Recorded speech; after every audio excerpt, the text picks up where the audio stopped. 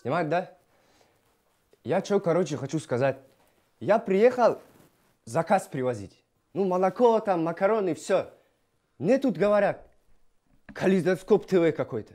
Ё-моё, думаю, это что такое? Елки-палки, прихожу, говорю, сняться надо.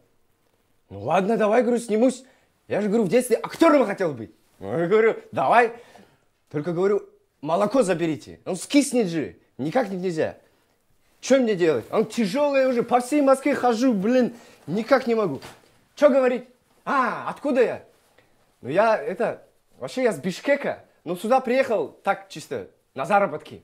Вот, вообще хочу на ТВ, да, знаменитостью стать там, вот. Ну пока курьером работаю, но это так, для начала.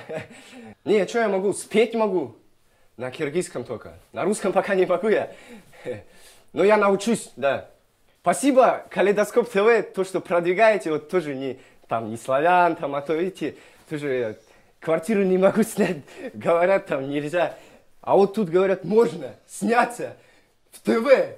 Ну, нифига себе. Ну вот. Ну ладно, что, давайте, не болейте.